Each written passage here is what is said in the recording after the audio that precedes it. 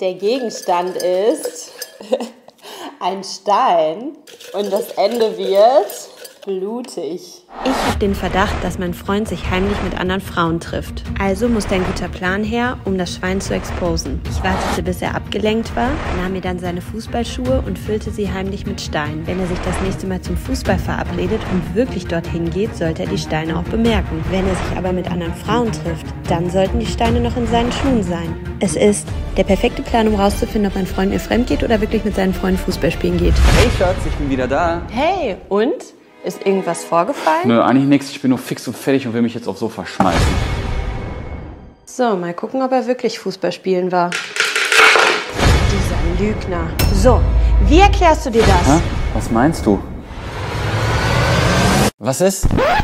Ich liebe dich.